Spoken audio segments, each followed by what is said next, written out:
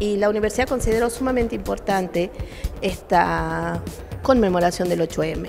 Comenzamos con la marcha y va a terminar el día 18. La UNLAR tiene un rol muy importante en la sociedad respecto de eh, generar la conciencia de género, eh, capacitarnos, prepararnos, aprender, cambiar culturas. No tan solo hacer actividades o talleres, intervenciones, sino también hacer como un cierre reflexivo que va a estar a cargo nuestro, ampliar esto, invitar, tomar conciencia y también ver de diferentes formas. Una muestra fotográfica que van a ver acá que se va a inaugurar con distintas víctimas, con frases para reflexionar. La perspectiva de género es un eje de nuestra gestión y tenemos que avanzar mucho todavía.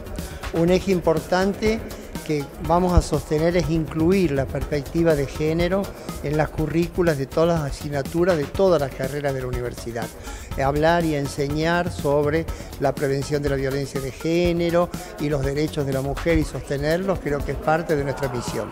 Todas nuestras eh, actividades, toda nuestra política eh, tiene inserta transversalmente el género. Vamos a trabajar mucho con las leyes que existen. Se pensó primero en reflexionar, porque si bien hemos avanzado, y es importante los avances que se han hecho, todavía el tener que conmemorar y el tener que pensar y reflexionar para cambiar. O sea, todas las actividades están puestas en ese marco, en que la institución no ha quedado fuera, todavía vivimos violencia en modo de reflexión. La música siempre, pienso yo, que nos hace pensar, nos hace reflexionar. Como mujeres y estudiantes es muy importante conocer qué está pasando acá en la universidad, ver cómo nosotras podemos intervenir y reflexionar juntos con los pares, con los estudiantes, con los profesores, los docentes, eh, qué nos pasa, cuáles son los círculos de violencia que se viven en la universidad, porque más allá de lo exterior lo, más o menos lo conocemos, pero es involucrarnos en lo que pasa acá en la UNLAR.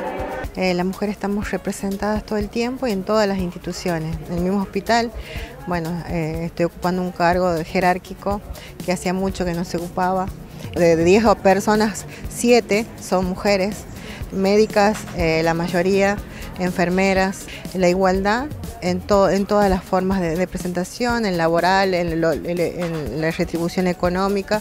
Y yo creo que eso no tiene que durar un marzo ni dos semanas, tiene que ser instituido para siempre. ¿no?